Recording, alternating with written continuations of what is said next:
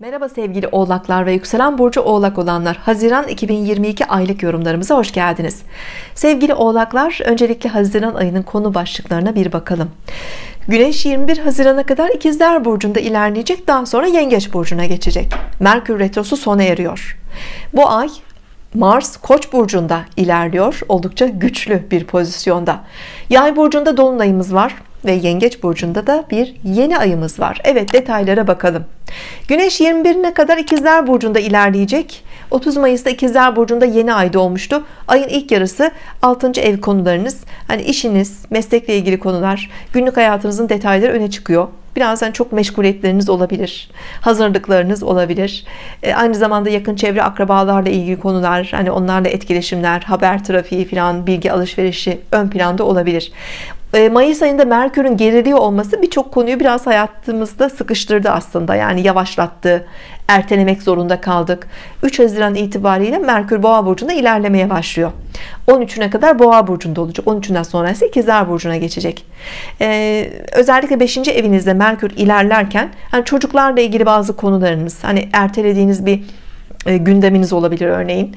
Eğitimle ilgili bir konudur örneğin ya da bir türlü karar veremediğiniz bir konu olabilir. Yani bunları daha rahat şimdi çözümleyebilirsiniz gözden geçirebilirsiniz içinde bulunduğunuz şartlara bakabilirsiniz.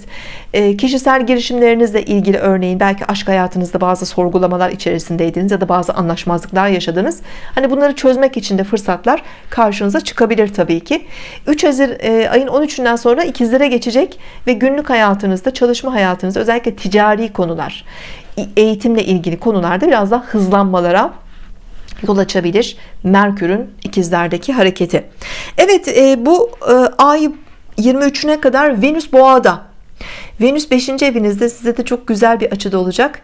Yani aslında romantik konularda işte aşk ilişkilerinde çocuklarla ilgili keyifli konularda destekleriniz var.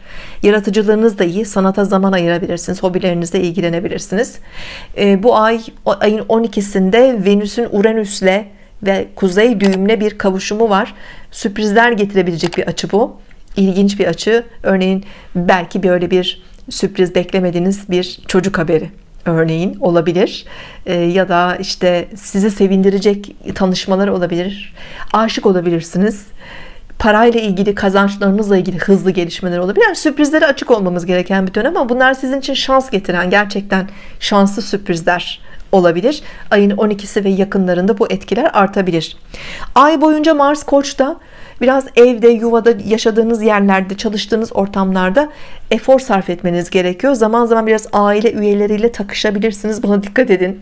Özellikle ayın ortalarında bir ebeveyninizin rahatsızlanması olabilir. Hani belki evdeki işler nedeniyle daha fazla ilgilenmeniz gerekebilir. Kendi sağlığınıza da biraz özen gösterin. Çünkü kazalara sakarlıklara açık olabilirsiniz özellikle yaşadığınız mekanlarda. İşte baş ağrıları eklem ağrıları kas ağrıları ufak tefek yaralanmalar ufak tefek böyle kazalar olabilir. Bunlara dikkat etmekte fayda var. Evet ayın 14'ünde yay burcunda bir dolunay var 12. evinizde olacak bu dolunay 12. ev dolunayları aslında şifa dolunaylarıdır böyle dönemlerde biraz iç dünyamıza yöneliriz. Biraz hani hayatın daha manevi daha ruhsal alanlarına çekilebiliriz. Ee, bir izolasyon olabilir bir dinlenme süreci olabilir sizin adınıza.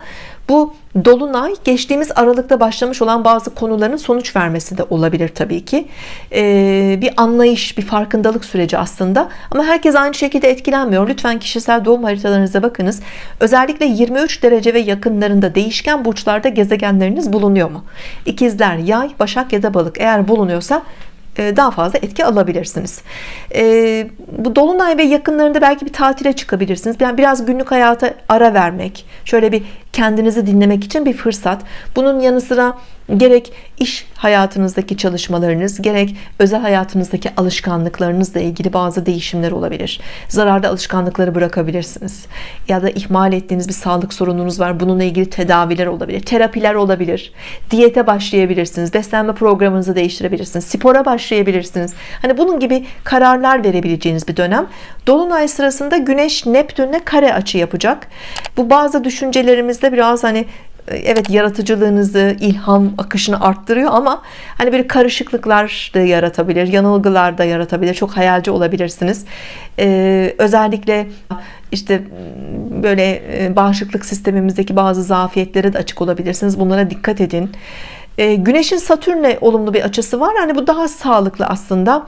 Daha sağlam adımlar atabileceğimiz, en azından hayatımızla ilgili, iş hayatımız, mesleğimizle ilgili, sağlığımızla ilgili aldığımız sorumluluklar olduğunda hani burada istikrarlı ve güvenli adımlar atabileceğimizi işaret ediyor.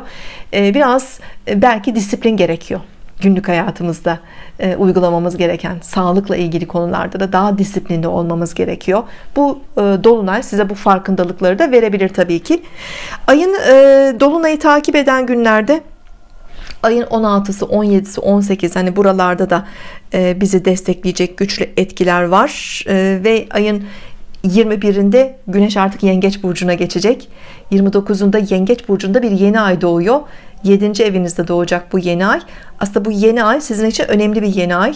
E, güneşin de ayın 21'inden sonra Yengeç burcuna ilerliyor olması e, biraz daha sizin için hani bireysel değil de daha çok hani ilişkilerle ilgili beklentilerinizi artıracak gibi görünüyor. Paylaşım yapmak isteyeceksiniz. Daha paylaşımcı olacaksınız.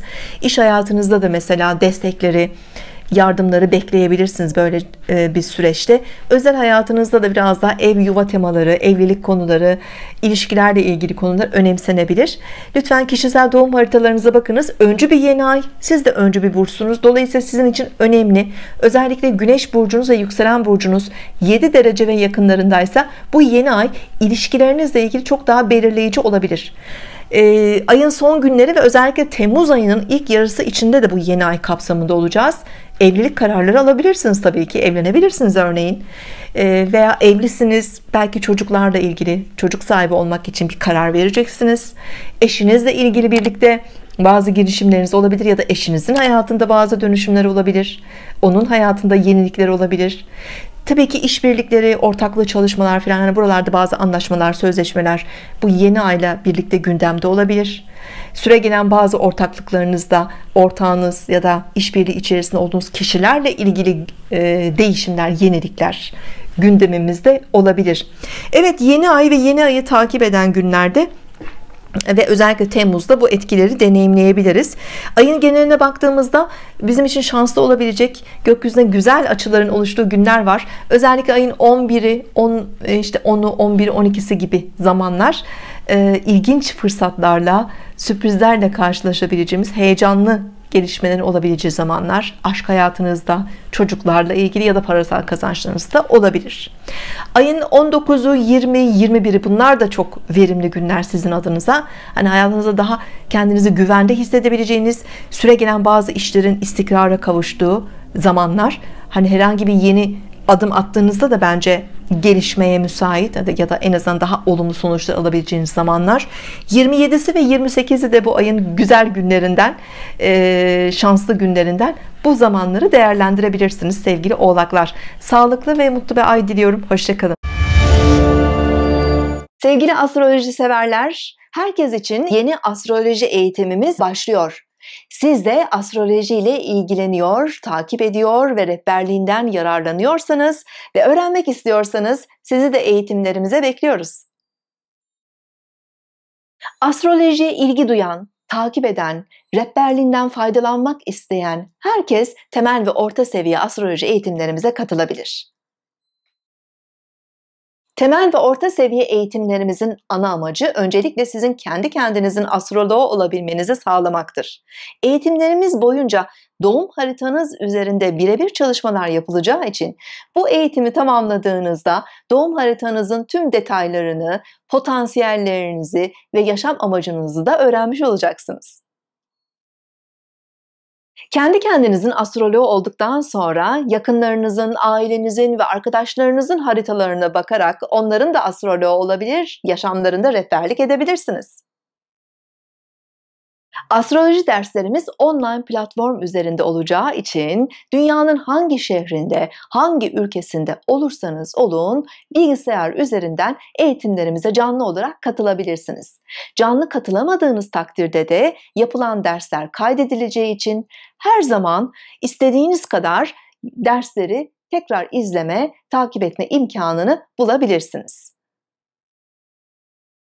2012 yılında bilinçokulu.com platformu üzerinde başladığımız online eğitimlerimiz her yıl düzenli olarak devam ediyor.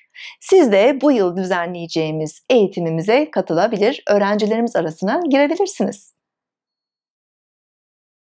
Tüm eğitimlerimiz ve dersler sırasındaki öğrencilerimizin harita incelemeleri tamamen benim tarafından yapılmaktadır. Astroloji eğitimimize katılmak istiyorsanız lütfen 0507 607 50 17 WhatsApp hattımıza isminiz ve doğum bilgilerinizle beraber mesaj atınız. Hemen size geri dönüş yapacağım.